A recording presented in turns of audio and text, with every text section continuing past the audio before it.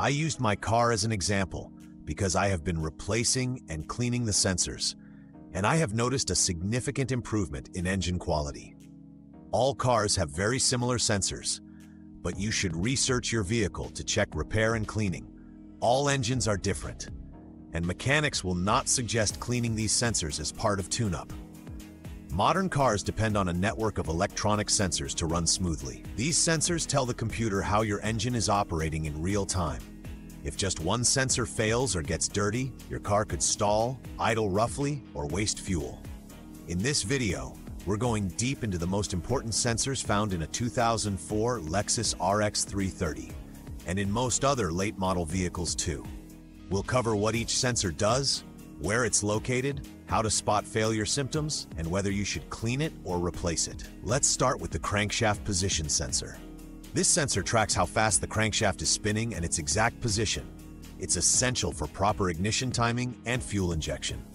On the RX 330, it's located low on the engine block near the crank pulley or bell housing. Symptoms of a bad crankshaft sensor. No start or long cranking. Engine stalling. Check engine light with codes like PVRI35. Misfires or jerking. Cleaning isn't effective here. If this sensor fails, it's usually due to internal wear or wiring. Just replace it. It's a moderately difficult job you may need to get under the vehicle for access. Next is the camshaft position sensor. It works with the crank sensor to manage fuel delivery and spark timing. Located on the engine's top end, usually near the timing chain area. Symptoms include rough idle or engine hesitation, hard starts, CL codes like P340 or P345. If there's a little metal dust or oil on it, you can clean the tip using an electronic safe cleaner.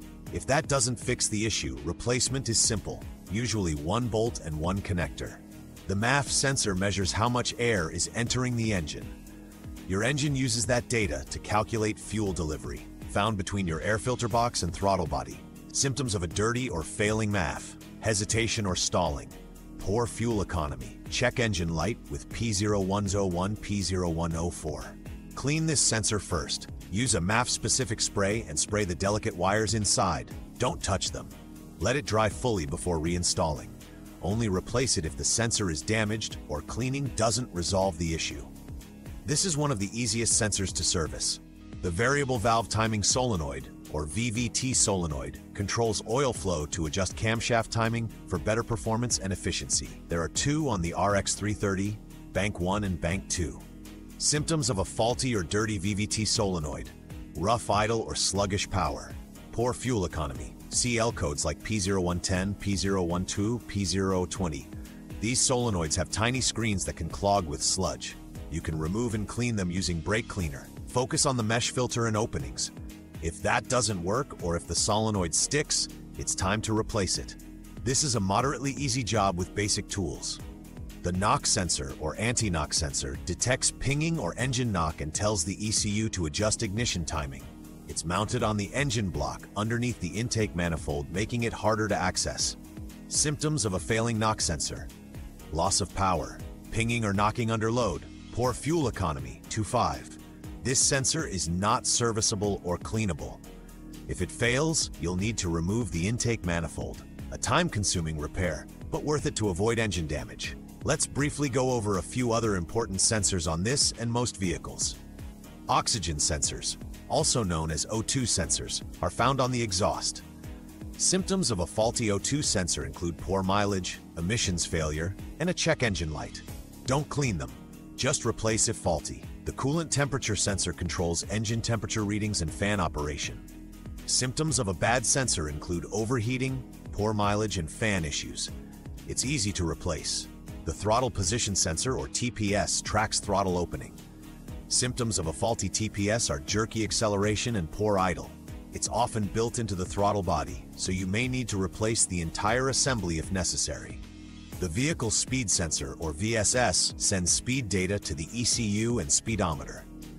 Symptoms of a bad VSS include harsh shifting and inaccurate speed readings.